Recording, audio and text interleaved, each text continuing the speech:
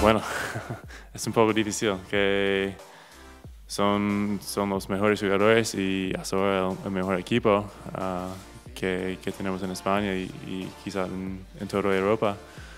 Tenemos que, que jugar nuestro partido de paciencia, de buena defensa.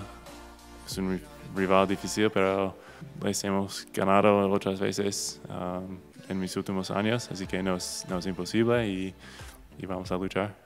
Para ellos todo empieza con, con, Yul, ah, que es uno de los mejores jugadores de Europa, pero bueno, son todos buenos. No puedes decir que quiero que este no juegue porque el, el jugador después es igual o casi igual de, de bueno. Así que tenemos que estar preparados para todo el mundo y, y luchar. Y si podemos um, darle un- una sorpresa el primer día, ah, puede ser algo bonito para nosotros. Um, pero es, difícil y vamos a ver.